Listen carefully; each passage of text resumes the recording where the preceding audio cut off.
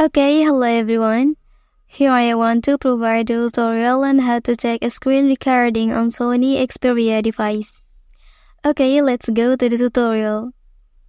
Well, here you can capture anything on your device by using the screen recorder on your device. Okay, the method is as follows. Okay, open the control center here. After that, just swipe like this and then you can select screen recorder here. After that, choose between two options or not at all.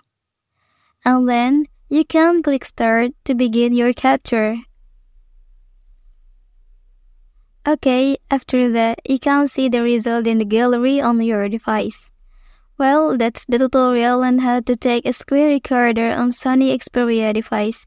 If you are helped by this video, don't forget to subscribe for more information from this channel. Thank you.